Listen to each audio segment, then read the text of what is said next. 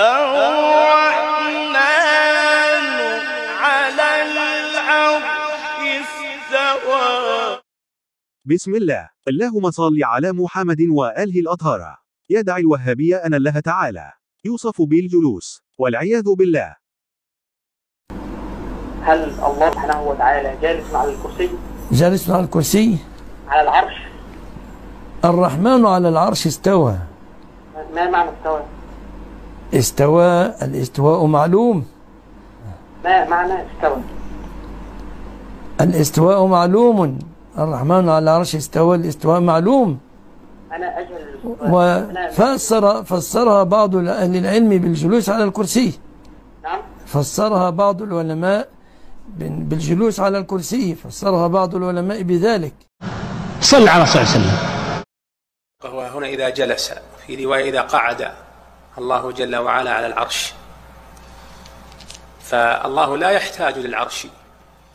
يسمع لهذا العرش أطيط. ما الأطيط؟ الصوت الطقطقة. كما لو جلس أحدكم على كرسي أو على سرير سمع له صوت وهو جديد. وهذا يدل على ثقله سبحانه وتعالى. والآن اسمعوا لتفاسير الشيعة في تفسير هذه الآية الكريمة. ومن بعد ذلك كيف أن الإمام علي رد على كل من يؤمن بعقائد التجسيم المنحرفة هذه؟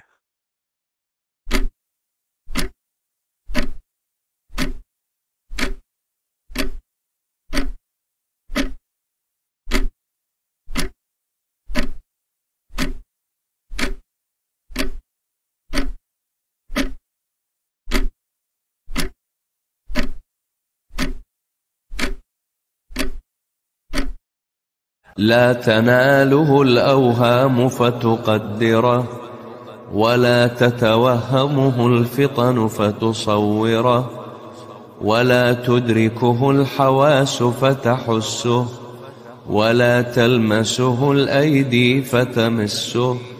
لا يتغير بحال ولا يتبدل بالأحوال. لا تبليه الليالي والأيام ولا يغيره الضياء والظلام ولا يوصف بشيء من الأجزاء ولا بالجوارح والأعضاء ولا بعرض من الأعراض ولا بالغيرية والأبعاد. ولا يقال له حد ولا نهاية ولا انقطاع ولا غاية ولا أن الأشياء تحويه فتقله أو تهويه أو أن شيئا يحمله فيميله أو يعدله.